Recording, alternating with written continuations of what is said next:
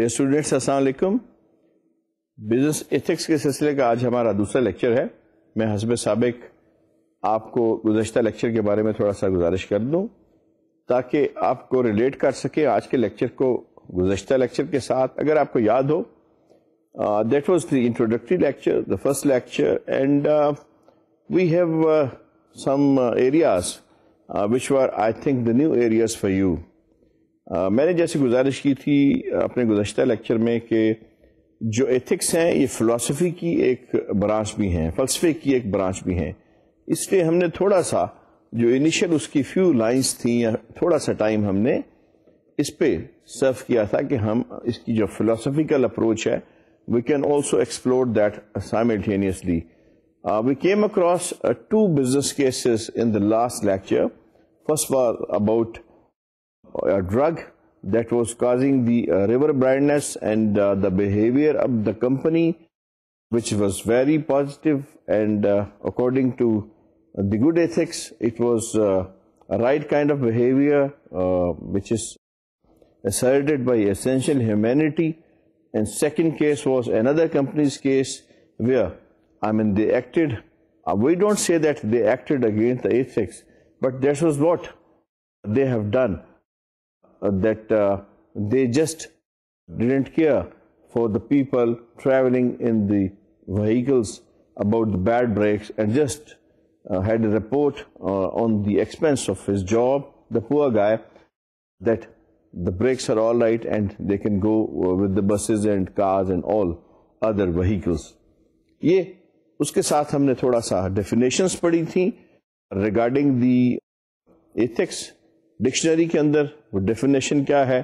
फिर अगर आपको याद हो तो हमने एक चीज़ उसमें पढ़ी थी that was the personal ethics ये एथिक्स की वो ब्रांच है which is which is dealing with the personality I mean it's your personal things जातियात के लेवल के ऊपर. What is your personal opinion about different things और किस तरह से आप पर्सनली किसी चीज़ को जज करते हैं गेज करते हैं? Second thing which we discuss was the accountants ethics, accountancy ke laws, and we discussed another case in it, and uh, we also concluded that not all the companies, God forbid, uh, they are uh, doing, but majority of the companies, especially in an un undocumented economy, they are trying to uh, have small things there, जैसे tax का बचाना VAT जो है value added tax जो है sale tax इसको हम यहाँ कहते हैं, उसका बचाना, इस किस्म की रसीद ना देना, छोटी छोटी बातें जो बाद में मेगा रिजल्ट्स जो हैं, वो लेके आते हैं। आइए आज सेकंड लेक्चर का आगाज़ करते हैं और फिर हम ये देखते हैं कि कहाँ से हमने इसका जो है, हमने एथिक्स को कहाँ से शुरू करना है और आज हमारे पास आपके लिए क्या है। बेसिकली डेफिनेशन के बाद और इन सारी चीज़ों के बाद हमने जो अगली चीज़ पढ़नी है, वो स्टैंडर्ड्स पढ़ने हैं। ये स्टैंडर्ड वो मैार हैं जिनके ऊपर हम परखते हैं किसी भी इखलाकी चीज़ को। और एथिक्स के लिए सर्टन स्टैंडर्डाइजेशन जो है, वो बनाई गई है। हमारा जो मेजर इसमें आज टॉपिक है, ये ज़्यादातर जो स्टैंडर्डाइजेशन है, उससे मुतल ये रहेगा। Let's see we have the standards the moral standard इखलाकियात के मैार क्या हैं? Moral standards deal with the matter that can seriously injure और बेनिफिट ह्यूमंस यानी ऐसे जो इखलाकी स्ट्रक्चर हैं, जो इंसानियत को या इंसानी नस्ल को या तो बुरी तरह से उसको नुकसान पहुँचा सकते हैं, या फिर बहुत सारा फ़ायदा दे सकते हैं। For example most people in American society hold moral standard against theft rape enslavement murder child abuse assault slander fraud law breaking and so on जैसे हम कहते हैं कि अमेरिकन सोसाइटी के अंदर बल्कि किसी भी हर एक सोसाइटी जो कि मेरी ओपिनियन में एक महजब सोसाइटी है, वहाँ पे जो स्टैंडर्ड हैं, वो हमेशा कुछ चीज़ों को बुरा कहती हैं। जैसे कोई चोरी है, कोई रेप का केस है या कोई गुलामी, किसी को ज़बरदस्ती गुलाम बनाना है, जो गुलामी का कानून वैसे ख़त्म हो चुका है फिर कत्ल जैसे कदम है, इकदाम है, ये चाइल्ड अब्यूज़ है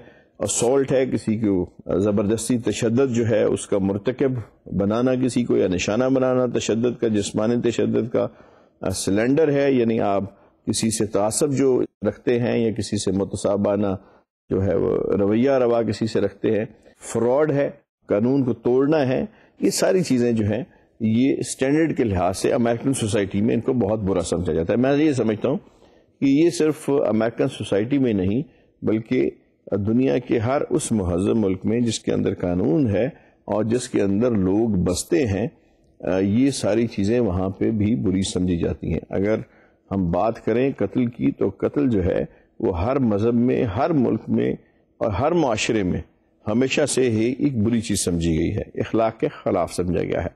इसी तरह अगर हम असॉल्ट का ज़िक्र करते हैं, किसी को ज़बरदस्ती तशद का निशाना बनाना तो ये भी एक इसी ज़िमरे में आ जाता है। और इसके लिए मैं नहीं समझता कि हम किसी ख़ास मुआशरे को हम ये कह सकते हैं कि उस मुआशरे में ही सिर्फ़ ये कानून जो हैं ये एप्लीकेबल हैं कि we can not we can not find them elsewhere I think more और less all these things we have mentioned they are universal uh, and uh, prevailing in almost every country and uh, every region or community in the world.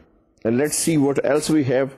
Again, in moral standards, moral standards are not established or changed by authoritative bodies.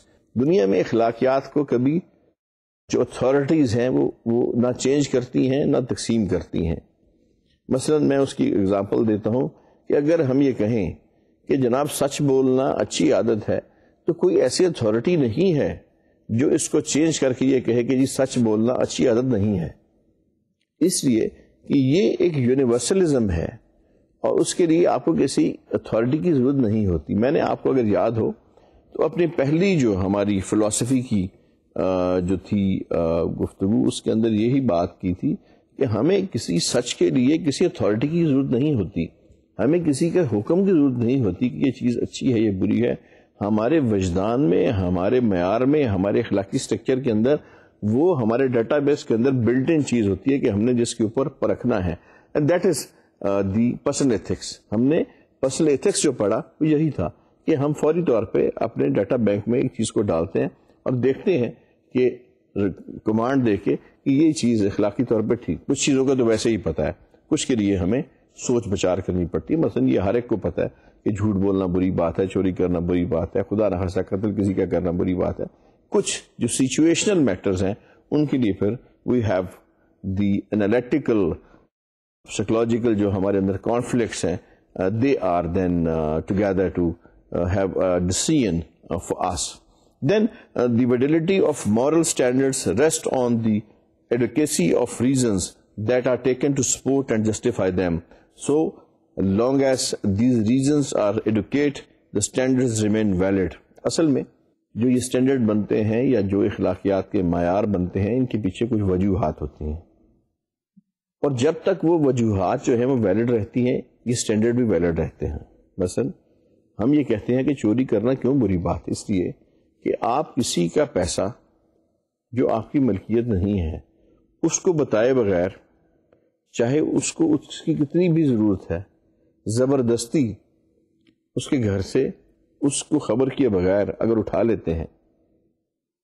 तो उसके लिए एक reason है कि आपने एक गलत काम किया, एक आदमी को उसके पैसे से या उसके माल से महरूम किया। उसकी दूसरी रीज़न ये है कि मे भी उसको उसकी बहुत ज़रूरत हो। मे भी जो पैसा आप उसका उठा के ले आए चोरी करके, वो उसके महीने भर की जो है राशन का पैसा हो या उससे उससे दवाइयाँ खरीद के अपने किसी बच्चे को, अपने अज़ीज़ को या अपने आप को उसकी ज़िंदगी के लिए दवाइयाँ जो हैं, वो बहुत ज़रूरी हो। एक रीज़न उसके पीछे होती है। जब तक किसी चीज़ को अच्छा कहने की या बुरा कहने की रीज़न मौजूद है, वो चीज़ जो है, वो परसिस्ट करती रहती है इखलाकियात में। जैसे हम ये कहते हैं, जनाब, सच बोलना बहुत अच्छी आदत है। उसकी रीज़न यह है कि हमें यह पता है कि अगर हम एक झूठ बोलेंगे तो उस झूठ को साबित रखने के लिए हमें कई झूठ बोलना पड़ेंगे। अब इसमें अगर हम ये बात कहें कि जी रीज़न रीज़न उसकी बड़ी सीधी सीधी है कि अगर आप झूठ बोलेंगे तो हालात जो हैं वो टोटली आपके अगेंस्ट भी टर्न हो सकते हैं।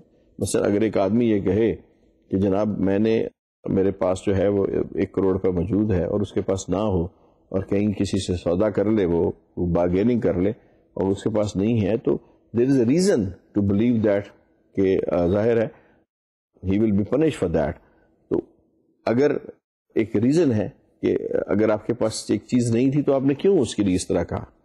तो जब तक रीजनिंग मौजूद है, जब तक हमारे पास इसके लिए एक लॉजिक मौजूद है, उस वक्त तक ये चीज़ें चेंज नहीं होंगी। और रीजन जो है, उनको हम चेंज कर नहीं सकते बिकॉज़ इनकी जो हैसियत है, ये यूनिवर्सल हो चुकी है। जैसे मैंने गुजारिश की कि ये कहना कि चोरी बुरी बात है, उसके लिए कोई रीज़न चाहिए, ये कहना कि सच बोलना अच्छी बात तो इसके लिए किसी रीज़न की ज़रूरत नहीं है, बल्कि ये एक शुरू से ही एक सॉर्ट ऑफ़ यूनिवर्सलिज्म एक हो चुकी है। तो ये एक इसका एक मेन पॉइंट था। Then we have moral standards we feel should be preferred to other values including self interest हमेशा वो कहते हैं कि जो इखलाकी इकदार है, उनको दूसरे जज्बात से तरजीह दें स्पेशली आपका ज़ाती मफाद। मसलन इखलाकी तौर पे आप इस समझते हैं कि मुझे इसमें ज़्यादा फ़ायदा है या दूसरे लोगों को इससे ज़्यादा फ़ायदा है या मुझे इसमें ज़ाती फ़ायदा है। मसलन, हम कहते हैं कि एक आदमी ने दस रुपये टैक्स बचा लिए। किसी बंदे को रसीद नहीं दी, दूसरे बंदे को रसीद नहीं दी, तीसरे बंदे को। यानी उसने सारा दिन जो है इज़ ए रिटेलर उसने सबको रसीद नहीं दी अल्टीमेटली मे बी उसने अपनी ज़ात के लिए कुछ पैसे जो है वो बचा लिए हों। लेकिन व्हाट अबाउट द कंट्री जहाँ पे वो रह रहा है? उस कंट्री का सोशल वर्क उस कंट्री का सोशल स्ट्रक्चर उस कंट्री के वो लोग जिन्होंने उस टैक्स से फ़ायदा उठा के अपना इलाज कराना है, उस कंट्री के वो लोग जिनकी सोशल सिक्योरिटी उस टैक्स पे डिपेंड करती है, उस कंट्री का डिफेंस उस कंट्री का इंफ्रास्ट्रक्चर ये सारे का सारा डिफेंस पे, और ये सारे का सारा जो है वो टैक्स पे मुनहसर है कि हम कितना टैक्स जो है वो अदा करते हैं। How good we are in paying tax state उतना ही ज़्यादा हम पे खर्च करती है, क्योंकि वो स्टेट की अल्टीमेटिक इनकम होती है। तो एक छोटी रीजन के लिए उसने एक बड़ी रीजन जो है, एक छोटी गलती से एक बड़ा जो है, उसने जो सबब है, उसको नुकसान पहुँचाया। तो यहाँ पे जो ये अर्ज़ करने का मकसद है that you always prefer the ethics against your personal interest that is a better choice that always think first about the ethics and then about secondly about your personal interest ये जी, आपका ज़ाती फ़ायदा बाद में आना चाहिए पहले ये देखना चाहिए कि एथिकली ये कितना ठीक है this does not mean of course that it is always wrong to act on self-interest. It only means that it is wrong to choose self-interest over morality. वो ये कहते हैं कि इसका ये कतन मकसद नहीं है कि खुदा न खास्ता हमेशा आप जो है वो अपनी ज़ात जो है उसको उसके अगेंस्ट काम करते रहें, अपने आप को फ़ायदा ना पहुँचाएँ। बहुत जगहों पे अगर आपको मजबूरी है और आप समझते हैं एथिकली आप उसके लिए लॉजिक समझते हैं और आप जस्टिफाइड है तो इस आपका ये ज़ाती फैसला आपने क्या करना है। लेकिन कोशिश ये करनी चाहिए, कोशिश ये करनी चाहिए कि जहाँ पे मोरेलिटी अखलाकियात आ जाते हैं, उसके ऊपर अपने ज़ाती जो आपका सेल्फ इंटरेस्ट है, ज़ाती फ़ायदा है उसको तरजीह ना दें। कोशिश करनी चाहिए इसकी। यहाँ जो लफ्ज़ है वो एफर्ट ज़रूर यूज़ करना चाहिए कि एफर्ट होनी चाहिए हमारी। उसके लिए कोई पाबंदी नहीं है आपको कोई मजबूर नहीं कर रहा या किसी भी कॉर्पोरेट सेक्टर में चीज़ को इंडिविजुअल एथिक्स के लेवल पे कोई आदमी मजबूर नहीं किसी को कर रहा। देर इज़ नो सच कोई इसमें ज़बरदस्ती नहीं है। बट अगर हम uh, इंसानियत के ह्यूमैनिटी के लिहाज से देखें इट्स वेरी इन ह्यूमन कि हम एथिक्स को जो है प्रेफरेंस ना दें, अपने सेल्फ इंटरेस्ट को प्रेफर करें। Then we have moral standards are based on impartial consideration एक मॉरल स्टैंडर्ड्स का जो बेसिकली बेस है, वो एक गैर जानबदाराना जो है नज़रिया, उसको देखते हैं। The fact that you will benefit from a lie and that I will be harmed is irrelevant to whether lying is morally wrong देखें हमेशा जब आप इखलाकियात के अंदर किसी चीज़ को डिफाइन करें या इखलाकी लिहाज से किसी चीज़ का फैसला करें तो उसको इम्पार्शल होके, यानी अपने आप को ज़ातियात से अलहदा करके सोचें न्यूट्रल हो आप फैसला करें कि एज ए न्यूट्रल पर्सन मैं अपनी सेल्फ को, अपनी ज़ात को, अपने घर को, अपने ख़ानदान को अलहदा करके सोचता हूँ। As a neutral human being मैं सोचता हूँ कि मेरा फैसला जो है, वो इस सिलसिले में क्या होना चाहिए। उसकी जो एक मेन रीज़न वो ये है कि हो सकता है कि आप ये सोचें कि ये जो झूठ मैं बोल रहा हूँ, इससे मुझे फ़ायदा पहुँच जाए। लेकिन एक बात जो कि बड़ी सीधी सीधी है और समझ में आने वाली है कि देखें, ये ठीक है कि जो झूठ बोलना है, वो जो मॉरल वैल्यूज़ है या मोरालिटी है, उसके अगेंस्ट है। ये इसमें कोई शक नहीं और ये एक यूनिवर्सल ट्रुथ है। लेकिन फिर वही बात है कि आपको कोई चीज़ इन्फोर्स नहीं कर रही कि आप ऐसा ही करें और हमेशा आप इखलाकियात पे जाएँ। यहाँ पे आपके लिए कोई चीज़ भी जिसको हम ये नहीं कह सकते कि this is right for you किसी थर्ड पर्सन को एथिक्स के लिहाज से एथिक्स का जो नॉलेज है एथिक्स का जो इल्म है, वो ये कहता है कि किसी थर्ड पर्सन को ये कहने की इजाज़त नहीं है किसी दूसरे बंदे को कि जनाब जो तुम आप कर रहे हैं या ये जो आपकी कंपनी कर रही है गलत है। They have to think in their own consideration लेकिन फिर वही बात है कि प्रायोरिटी जो होनी चाहिए, असूली तौर पे इन प्रिंसिपल मॉरलिटी के जो प्रिंसिपल हैं, उनके तहत सेल्फ इंटरेस्ट जो है, उसके ऊपर एथिक्स को आप हमेशा प्रेफर करें। देन मॉरल स्टैंडर्ड्स जो कि अखलाकी एक स्टैंडर्ड्स हैं मैार हैं अखलाकी are associated with special emotions and a special vocabulary अमूमन हमारे जो अखलाकी मैार होते हैं, वो एक स्पेशल किस्म की वोकेबलरी और एक स्पेशल किस्म के जज्बात के साथ मुंसलिक होते हैं। जैसे हम गुनाह की कैफियत है, या शर्म आने की कैफियत है, या कोई और आपको ऐसी कोई ह्यूमिलेशन आपको हित कमेज को रवैया आपको जो है, वो फील हुआ है। तो उस सूरत में आपकी जो टोटली उसमें जो मीनिंग्स हैं, वो बदल जाते हैं। जिस तरीके से आप सोचते हैं, जिस तरीके से आप बोलते हैं और जिस तरीके से आप परसीव करते हैं, जिस तरीके से आप अपने इमोशंस जो हैं, उनको एक्सप्लेन करते हैं एक्सप्रेस करते हैं, वो सिचुएशन टू सिचुएशन वेरी करता है। गिल्ड की सूरत में, यानी एहसास गुना की सूरत में, शर्मिंदगी की सूरत में, या अपने हित तक महसूस करने की सूरत में, जो आपका रिस्पॉन्स है, इखलाकियात की तरफ़, वो टोटली डिफरेंट होता है। उस वक्त आप नॉर्मली एक्ट नहीं कर रहे होते। अंडर इमोशनल जो आपका ऑनसेट है, या अंडर इमोशनल जो आपकी एक जो साइकोलॉजी है वो एक्ट कर रही होती है। Then you use different language you use different acts different emotions and यहाँ पे आके थोड़ा सा जो अखलाकियात का पैमाना है, या अखलाकियात का जो एक फिक्स वो कंट्रोल रखना मुश्किल हो जाता है। इसीलिए आपने सुना होगा, इस्लाम में भी ये है कि गुस्सा जो है हराम, उसको करार दिया गया है।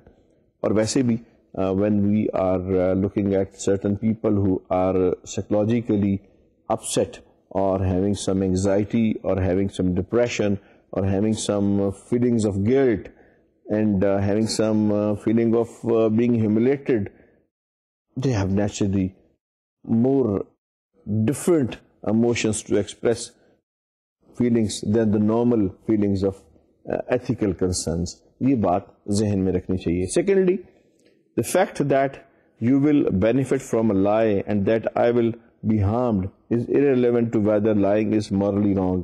इस बात से इसका कोई ताल्लुक नहीं है कि इस फ़ायदे से, इस सच से, इस झूठ से मुझे क्या फ़ायदा पहुंचेगा, क्या नुकसान पहुंचेगा। इखलाकी तौर पे अगर हम इखलाकियात में ये देखते हैं कि झूठ बोलना बुरी बात है तो इसका कोई, इससे रिलेशन नहीं है आपके बिज़नेस एथिक्स के अंदर। बिज़नेस एथिक्स टोटली सिचुएशन के मुताबिक होता है। और उसमें जो है, एक ख़ास किस्म का जिसको हम कहते हैं कि आपको एक ख़ास वक्त में एक डिसीज़न लेना होता है, जिसके टोटल सरकमस्टांसेस डिफरेंस होते हैं। इन डिफरेंट सर्कमस्टांसेस के अंदर आपने फैसला जो है, वो औरतों से करना होता है। जैसे मैंने यहाँ पे एक अर्ज़ की थी कि जब हम गिल्ड की सिचुएशन से या शेम की सिचुएशन से गुजरते हैं, या हम कुछ थोड़ा सा हिमिलेशन में फ़ीड करते हैं तो टोटली वोकेबलरी और हो जाती है और इमोशंस के अंदर आपके एथिक्स को सोचने का अंदाज भी और हो जाता है। इसीलिए सर्टन सिचुएशन में आप जो बिज़नेस एथिक्स इस्तेमाल करते हैं, उनकी नोयत थोड़ी सी बदल जाती है। देन मॉरल स्टैंडर्ड्स की मैं अर्ज़ कर रहा हूँ the ultimate aim of ethics is to develop a body of moral standards that we feel are reasonable to hold मकसद जो है, आखिरकार, क्या है एथिक्स का? एथिक्स का मकसद ये है कि हम एक ऐसा इखलाकी ढांचा बनाएँ एक ऐसा हम स्टैंडर्ड्स वाजे करें इखलाकियात के, जिनके अंदर इंसान जो है, वो एक अच्छी तरह से ज़िंदगी रीजनेबल तरीके से उसको होल्ड कर सके और एक अच्छी ज़िंदगी जो है वो बसर कर सके।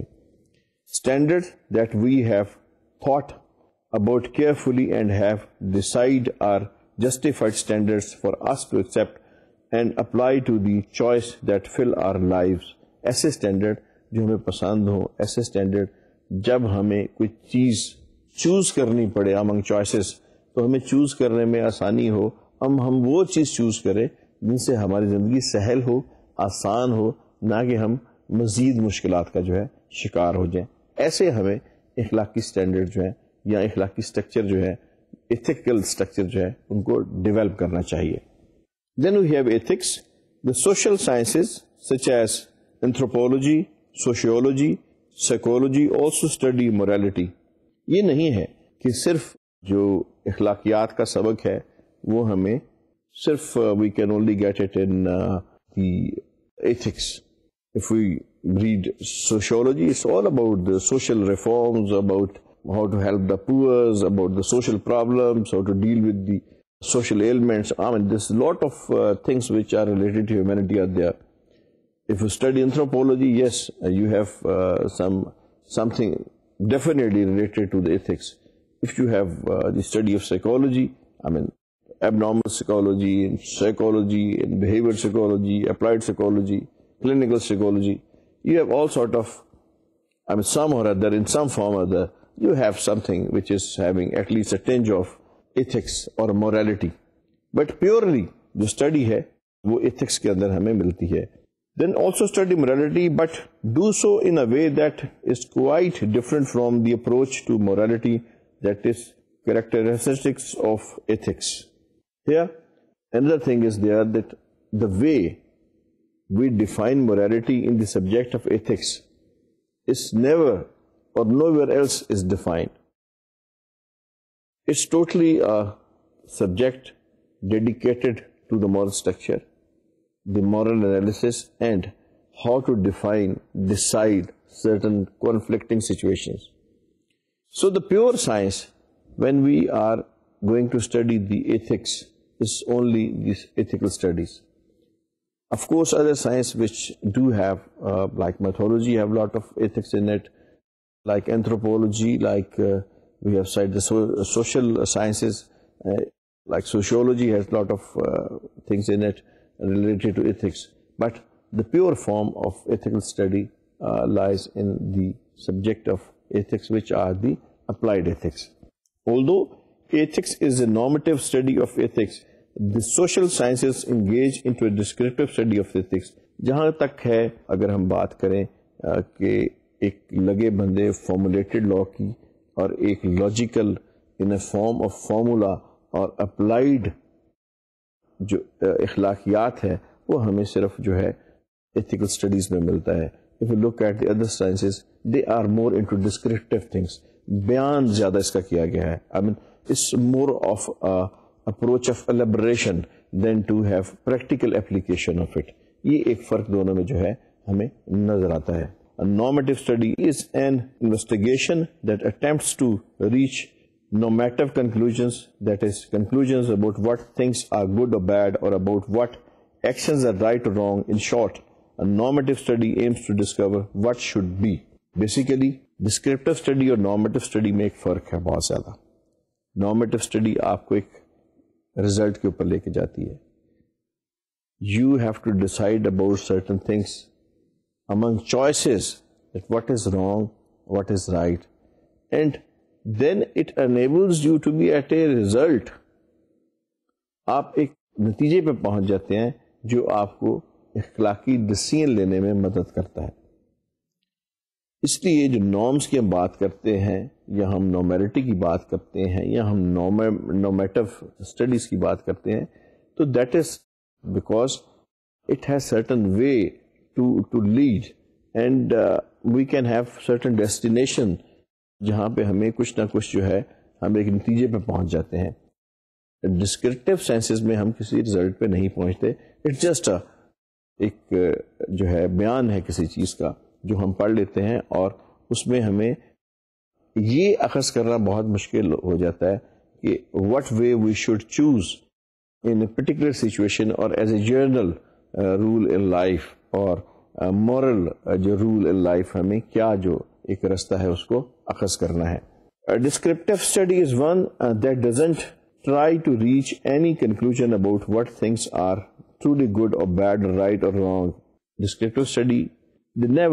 never uh, leads you to a way uh, that things are why they are wrong, which things are wrong, which things are right. I mean, they it's not uh, basically providing you a, a way uh, that can lead to a conclusion जैसे मैंने पहला किया ये ज़्यादा इसमें description जो है उसका पोर्शन ज़्यादा है Instead, a descriptive study attempts to describe or explain the word without reaching any conclusion about whether the word is as it should be. उन्होंने इसमें एक बड़ी क्लियर बात की है कि जब आप नॉमेटिव स्टडी करते हैं तो आपको ये पता चल जाता है कि हम जिस दुनिया में रहना चाहते हैं वो कैसी दुनिया हो इखलाकी लिहाज से हमारी दुनिया की जिस दुनिया के अंदर हम काम कर रहे हैं, जिस दुनिया के अंदर हम ज़िंदगी गुजार कर रहे हैं, इस दुनिया को किस तरह से होना चाहिए झूठ और सच, बुराई और अच्छाई के पैमाने के लिहाज से? ये तो एक नॉमेटिव स्टडी की बात है। डिस्क्रिप्टिव स्टडी कभी आपको ये नहीं बताती। वो एक सिंपल दुनिया का दुनिया की बात करती है जिसके अंदर हम रह रहे हैं। वो ये नहीं बताती कि उस दुनिया को इखलाकी तौर पे या इखलाकी स्ट्रक्चर के लिहाज से किस तरह का होना चाहिए तो ये एक बड़ा वादे से फ़र्क जो है, ये नॉमेटिव और डिस्क्रिप्टिव स्टडी के अंदर हमें पता चलता है business ethics is a specialise study of right and wrong applied to business policies institutions behavior. This is an important study since business are some of the most influential. दुनिया के अंदर globalisation के बाद मल्टीनेशनल्स जो हैं, वो फैल गई हमारी जोग्राफियाई सदे जो हैं वो तो मौजूद हैं लेकिन इकॉनमी की कोई सरहद नहीं है आज की इकॉनमी जो है वो ग्लोबलाइज्ड इकॉनमी है While we are talking about the economy in America, uh, we are simultaneously also talking about the economy of Pakistan. We're talking about the economy of China. We're talking about the economy of India, Africa, you name it, as a global village. Because markets, now they are merged. Market is not a single market. Market is a global. Same is with the production places. Things which were produced in only America, now they are produced in uh, most of the Asian countries. Markets shift हो चुकी हैं production side shift हो चुकी हैं उसके साथ multi national जो हैं वो हर मुल्क में आ गई हैं उसका रिज़ल्ट ये हुआ कि आपका जो कल्चर है वो बदलता गया देखें हर कल्चर की एक अपनी अपनी ज़रूरत है हर कल्चर की एक अपनी अपनी तारीफ़ है हमारे यहाँ अल्कोहल जो है, उसकी ममानियत है। मजहबन भी, इखलाकन भी, कानूनन भी। यूरोप में दुनिया के बहुत सारी तरक्की याफ्ता तो नहीं मैं कह सकता। उन ममालिक में जहाँ पे इसकी परमिशन है, वहाँ पे अखलाकी लिहाज से ये जो है कि कोई ममानियत नहीं है। इस पार्ट ऑफ़ देयर लाइफ यहाँ पे इसकी ममानियत है। तो एक कंपनी जब यहाँ पे आएगी, उस मॉरल वैल्यू को लेके या एथिक्स को लेके पाकिस्तान के अंदर तो यहाँ पे उसको एक कॉन्फ्लिक्ट मिलेगा। जब कॉन्फ्लिक्ट मिलेगा तो उसकी एथिक्स की और हमारे एथिक्स को मिलकर एक तीसरा जो एथिकल जो एक कंक्लूजन है, वो जन्म लेगा। कि जनाब, वहाँ पे तो ममानियत है, लेकिन यहाँ पे जहाँ हम रह रहे हैं, यहाँ पे इजाज़त नहीं है। तो क्या यहाँ पे ममानियत है, वहाँ पे इजाज़त है? किस तरह से इसको ओवरकम करना है? ये कॉन्फ्लिक्ट जो है, ये इन्होंने मजीद कॉम्प्लिकेट कर दिया है स्टडी ऑफ़ एथिक्स को। हम एक मुल्क की अगर बात करते हैं, एक मुल्क के अंदर हमें उसका लॉ मिलता है, उस मुल्क का पर्टिकुलर मज़हब मिलता है। इखलाकियात जो है फिलोसफी के अलावा उसके जो दो मेजर एक ज़रिए हैं first is first of all divine divine is the God Allah की ज़ात ने जो एक कायदा मुरतब किया, सबसे सुप्रीम पार उसकी है। उसके बाद फिर हम कानून की बात करते हैं कि कानून एक चीज़ जो है, उसने लॉ बनाए। फिर हम बात करें फिलोसफी की, तीसरे दर्जे पे, कि फिलोसफी ने एक पैमाना बनाया सोचने का कि हमने राइट और रॉन्ग को कैसे सोचना है। तो ये तीनों चीज़ें जो है, ये बदल जाती हैं ट्रेवलिंग के साथ साथ मुल्कों के साथ साथ कल्चर के साथ साथ तहजीबों के साथ साथ मजाहब के साथ साथ यहाँ पे जो मैं अर्ज़ कर रहा हूँ this an important study since business are some of the most influential दुनिया में इस वक्त इकोनॉमी जो है पूरी दुनिया की इकोनॉमी वो ना तो कंट्रोल हो रही है आर्मामेंट से ना कंट्रोल हो रही है आपकी स्ट्रेंथ से your forces. It's only controlled by economy. I mean, they are saying this America has the largest economy, but simultaneously they are also saying that if China is having the same growth rate or even little than the present growth rate, year 2020, it will be equal to American economy. Things are changing. We are now in a global, jahan pe influence of multinational is much more than it was in the past. We were just having a few multinationals and uh, they, in the past, multinational was just when you say multinational, it, it, it did mean an American company. Now we are having Asian companies in uh, 500 Fortune companies, a lot of companies for Japan, from Malaysia, for China, India, and Pakistan has very big companies. All these things are changing and corporations are capturing the world, economy of the world, control of the world. Now we don't say that this country is having this kind of armament or this kind of armament. We just say, we say the euro is getting a lot of strength. The reserves are sky high. Now uh, they have a lot of uh, crude oil.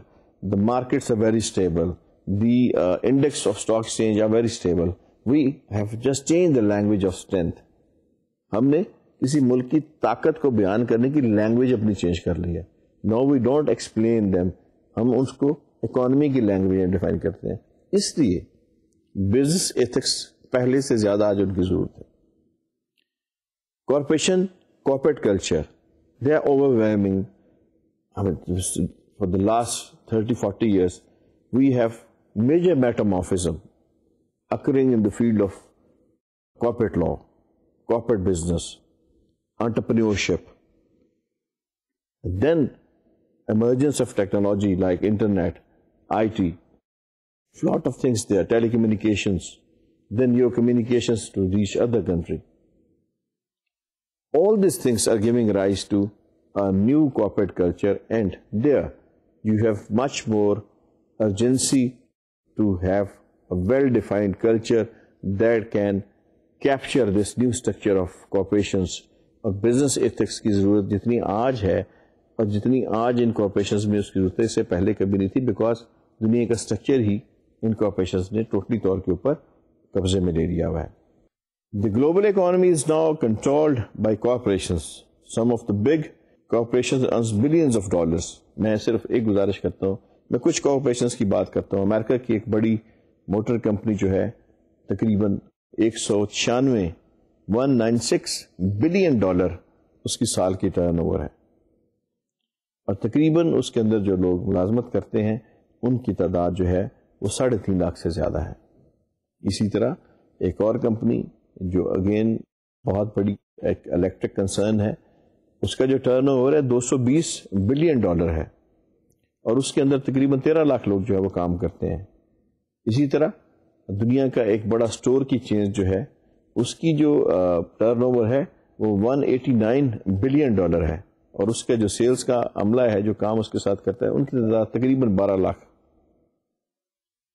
जब आप इतनी बड़ी figures की बात करते हैं जब आप इतनी बड़ी मैन पावर की बात करते हैं तो देयर बजट और their revenues are even much more than most of the countries annual corporations, the, including 500 fortune companies of the world, indexes, and some one of the computer company is, is, is the most rich company in the world, hold almost the most valuable assets in the world. Now, with this change, it was not in the past. In the past, I mean, country was they were wealthy because of the gold, they were wealthy because of certain crops, they were wealthy because of uh, certain uh, lands were very fertile, certain crops were there, or certain minerals were there. Now it's, it's a different thing. The company's corporate culture, they are defining your stages, defining your stages of your progress. And in this culture, where you have overwhelming cooperative uh, corporate structure, the business ethics has much more important value and that's why it's now emerging as a very serious subject, a very important subject into the world of management sciences. Everywhere, wherever you have a decision, wherever you have a contract, wherever you have a conflict, wherever you have something to decide about corporate culture, first thing which comes uh, come into the mind of the people who are deciding that is the ethics, the problem of ethics. We should do it or not. Morally right or not. Because lot of things are, I mean, you have to tolerate in this uh, new uh, scenario of corporate culture. Principal agency problems, that's a very big problem in ethical theories. What is the meaning of a principal agency problem? You know that corporations, they are not owned by their employees. I'm talking about the big corporations, जो बड़ी company होती हैं, multinational companies हैं. They are not owned by the employees. They are owned by the shareholders. Maybe a company is having millions of shareholders or hundred thousands of shareholders or thousands of shareholders. Um, now everybody of these shareholders cannot be the employee of the company. So what they decide that by election they elect directors who can look after their interest in the company. Now these directors who are looking after the interest of shareholders in the company, they act as governor or for governors to the affairs of the company. And they recruit certain people who are CEO, C, Chief Executive Officer, Chief Operational Officer, General Managers, Presidents, Vice Presidents of the companies. And these seats, they are having tremendous amount of money with them as salary, facilities, I mean, lot of uh, lucrative uh, offers. I mean, let it be like this, that if we're talking about a big company, multinational, the president may have on his personal disposal a fleet of car, maybe the Lear jets for his traveling, maybe millions of dollars on his disposal as salary, lot of allowances, traveling. Now, what's the agency principal problem? Here shareholders are called principals and agency are these people who are employed. Some situation emerge when these people, they are engaged into their personal benefit. They don't look after the benefits of the shareholders. And they look towards their own benefits, to save their own jobs, to have their own pockets full with the money they are not that good in doing the justice. I mean, they are just the caretaker of the money of the people. They are not owners. And for that, for their services, they are getting very good salary. But that's not the end of the world. They go beyond that. Overspending, then having wrong entries in uh, coordination with the accountants, like uh, I have told you, big scandal of uh, electric company of 350 uh, power generation company of 350 million dollars having a lot of uh, not looking after the proper share appreciation and the interest of the shareholders in the company so this is again a ethical dilemma that uh, the agency principal problems are now a big problem in the world and people where they are they are having certain governance system to look after such problems and to fix such problems at certain places. The new corporate world consists of shareholders, elected directors, hired managers, labor. They have their own hierarchy and today the largest problem in the business is principal agency problems where ethics play a vital part.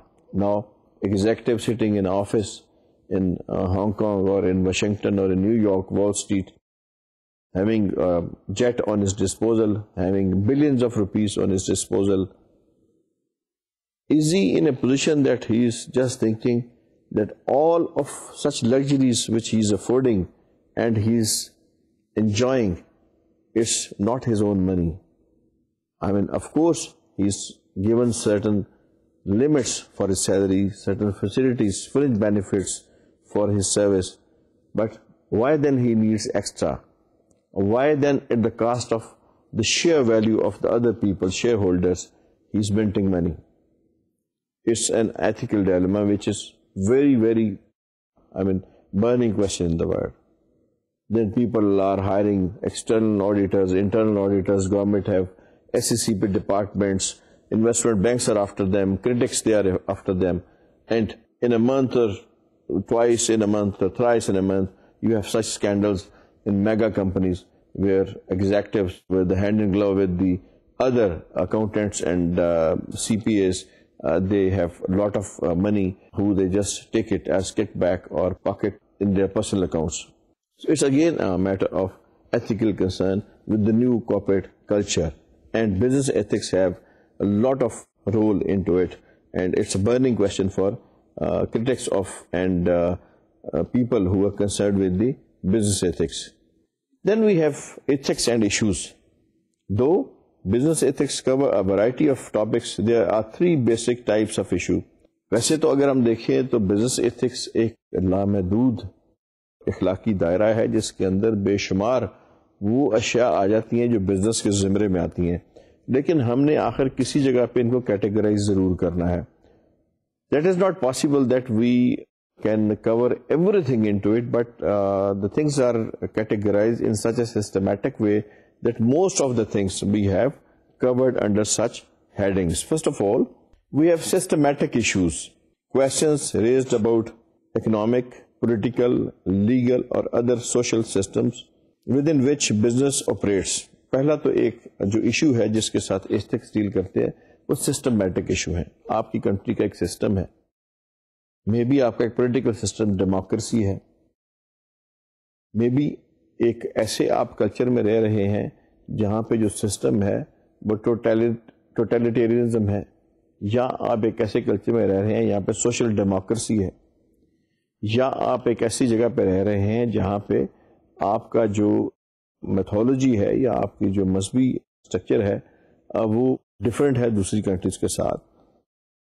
Maybe is Buddhism maybe is Islam there may be is Hinduism या फिर उसमें जो कन्फ्यूजम है, उसके ज़रिए आप जो है अपनी अखलाकियात का जो दायरा कर है। तो ये कहने का मकसद इसमें सिर्फ़ ये है कि बेसिकली जो निज़ाम है वो इस तरह से बनते हैं कि एक तो आपका पोलिटिकल सिस्टम है जो मुख्तलिफ़ ममालिक में मुख्तलिफ़ है। फिर आपका लीगल सिस्टम है। हमारे यहाँ और लीगल सिस्टम है सऊदी अरेबिया में और लीगल सिस्टम है अमेरिका में और लीगल सिस्टम है यूगोस्लाविया में और लीगल सिस्टम है रशिया में और लीगल सिस्टम है। Then we are talking about the economy. What's what sort of economy? Some uh, countries are capitalist country like america. Some countries they have uh, transition economies like hungary yugoslavia or czechoslovakia some countries are underdeveloped some countries are developing countries so it's different economy so first issue that ethics have to deal with the systematic issue those issue with are related to the system मतलब हो सकता है कि एक ऐसी economy जो transition economy है उसमें ज़्यादा इशू हो या कम इशू हो और एक ऐसी इकानमी जो कि कैपिटलिस्ट इकानमी है, उसमें इशू ज़्यादा हो। एक ऐसा मुल्क जिसमें कॉर्पोरेट कल्चर ज़्यादा है, उसमें बिज़नेस एथिक्स इशू ज़्यादा हो, बनस्बत उस मुल्क की जिसमें कॉर्पोरेट कल्चर कम है। इसी तरह, एक ऐसा पॉलिटिकल सिस्टम जो कैमरिज्म के ऊपर या सोशलिज्म के ऊपर टोटली जो है मुनसर है, वहाँ पे और तरह के प्रॉब्लम होंगे। डेमोक्रेसी के अंदर जो है, वो और तरह के प्रॉब्लम होंगे। इसी तरह, अगर हम चीज़ों को देखते हैं तो इकॉनमी लॉ और ये जो ब्रांच है एथिक्स की हैं सिस्टमैटिक इशू इनके साथ ये डील करते हैं these include question about the morality of capitalism of the laws, regulations, industrial structure, and social practices within which business operates. These ethics normally deal with such laws, such political structures, such economies, and such structures of social environment where you have social security or old age benefits or other benefits for the people. इनके साथ जो deal करते हैं basically जो ethics की जो branch है one of this area is that is issues के साथ जो एथिक्स डील करते हैं इस वन ऑफ़ द एरिया हम देखते हैं सेकेंड एरिया कौन सा है? Then we have corporate issue question these are raised about a particular company These include questions about the morality of the activities, policies, practices or organizational structure of an individual company taken as whole. वहाँ पे हमने एक निज़ाम की बात की थी system की सिस्टम जो है वो कंपनीज़ के नहीं होते सिस्टम ममालिक के होते हैं पॉलिटिकल सिस्टम लीगल सिस्टम ये सारे के सारे इकोनॉमिक सिस्टम जो है वो मालिक के होते हैं तो पहले जो इश्यूज़ थे एथिक्स वो सिस्टम के साथ डील कर लेते यहाँ पे कॉर्पोरेट एथिक्स है। कॉर्पोरेट एथिक्स क्या है? जो एक कंपनी के साथ डील करते हैं। कंपनी छोटी भी हो सकती है कंपनी बड़ी भी हो सकती है। Now ethical issues are directly proportional to the size of company जितनी बड़ी कंपनी होगी, उतनी इसमें इश्यू ज़्यादा होंगे। जितनी छोटी कंपनी होगी, उसमें उसमें जो एथिकल इश्यूज़ है, वो कम होंगे।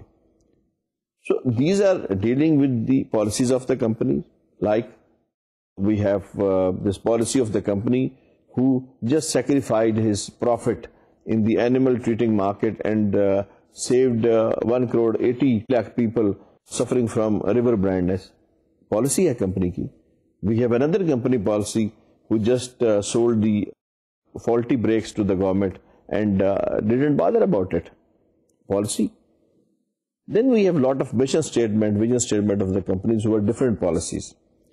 Again, uh, we have certain practices, activities of the companies. A lot of companies, they are involved into activities like having a lot of effluents, wastes as uh, the uh, fuel uh, जो है उनके waste uh, जो है dump करती हैं and uh, that is environmentally it's a big hazard.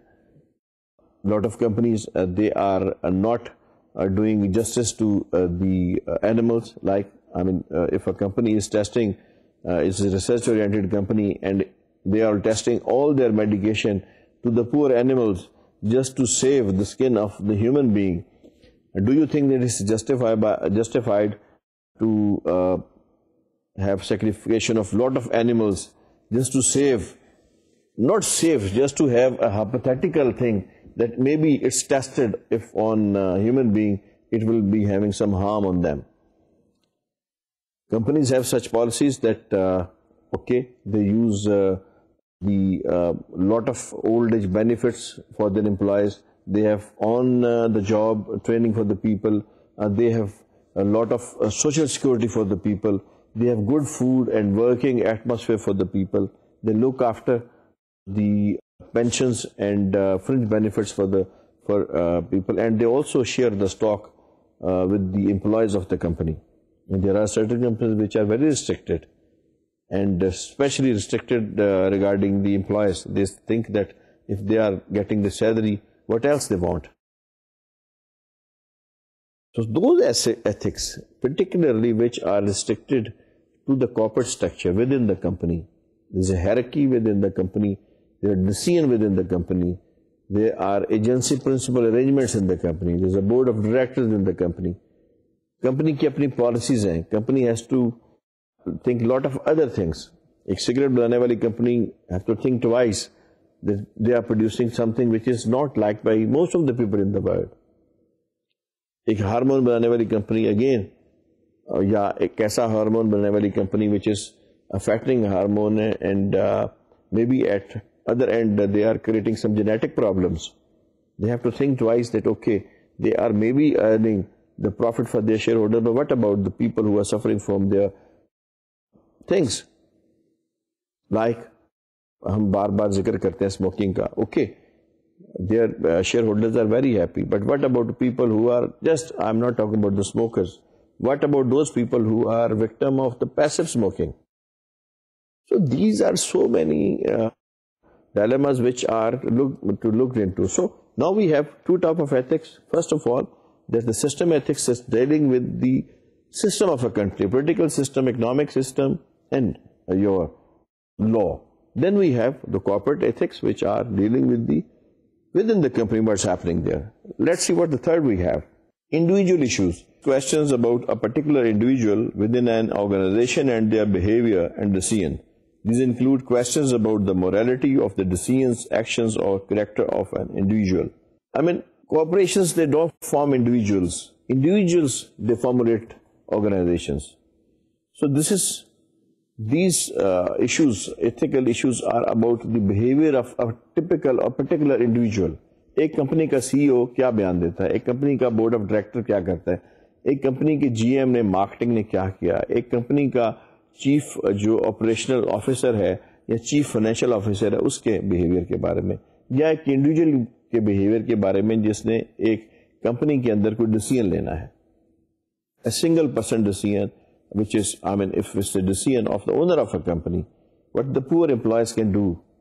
even if they are against that uh, decision, or if a decision is taken by the CEO, naturally, it has to be. So, it is this type of, uh, this uh, issue of the ethics is with the, uh, dealing with the uh, individual who are working, not typically individual who are working in a company, maybe he's working in a hospital, maybe this individual is in a big hierarchical structure in government, maybe he is uh, a person who's decider about a lot of things uh, in companies, about the benefits, about marketing of certain things, about the pricing strategies, to have high price in low poor countries, to have uh, even uh, more uh, security supply of the life-saving drugs into uh, countries where they are needed because at else some other place they are he is minting more profit so such things are related with so हमने तीन तरह से पढ़े system के साथ corporate के साथ और इंडिविजुअल के साथ इनशाला अगले लेक्चर में जहाँ से ये सिलसिला हमने ख़त्म किया है यहीं से इन इसको शुरू करेंगे और मज़ीद इसको डिस्कस करेंगे अजीज़ान, अगर कोई आपको इसमें डिफ़िकल्टी मेरे लेक्चर में फील हुई हो, या आपको कोई वोकेबरी में या समझने में कोई मुश्किल हो बला तामल हमें मेल कीजिएगा इन आपको फौरी तौर पर उसका जवाब दिएगा। इस दुआ के साथ कि अल्लाह ताला आपके इल्म में इजाफा करे और आपको ये तफीक दे कि अपना, खसूसी अपने वालदेन का ख्याल रखें। अगले लेक्चर तक के लिए मैं आपको खुदाफिज कहता हूँ।